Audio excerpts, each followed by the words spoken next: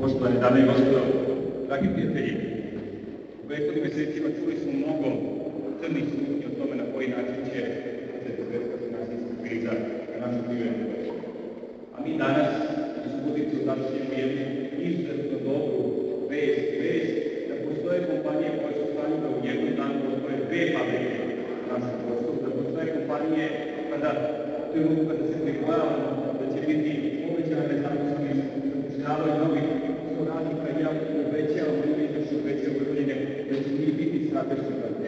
I ovo i svim onim kompanijama koje otvaraju nova radna mesta i nismo slučajno uveli mere podrške od 130.000 dinara po svakom novom radnom mestu i nismo slučajno uveli programe podrške pripravnicima i nije slučajno to što želimo da podržimo poljoprivredu i sve one nove investicije i nove tehnologije koje vode poboljšanju privrednog ambijenta u pokrajini i u celoj Srbiji. Država mora da vodi računa o ovakvim investitorima, to demonstriramo ne samo svojim prisutkom, nego i načinom na koji poštujemo sopstvene zakone, zakoni koji će suzbiti crno tržište, jer moramo poštiti one koji uvode evropske standarde za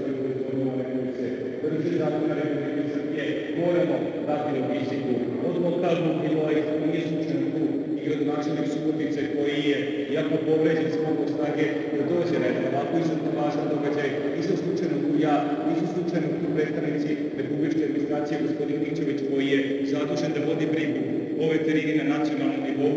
svojim prisutkom želimo da damo snažnu podršku, snažnu logistiku, a sasvim sigurno da ćemo i u narednim godinama nastaviti ove partnerstvo koje smo negovali do sada. Želim da čestitam predstavnicima i veterinarskog zavoda i Viktorije Grupe na jednom ovako izuzetno važnom pogotovu. Želim da im